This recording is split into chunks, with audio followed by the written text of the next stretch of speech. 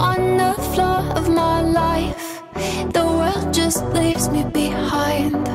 I wanted more at this point, but I keep losing my voice.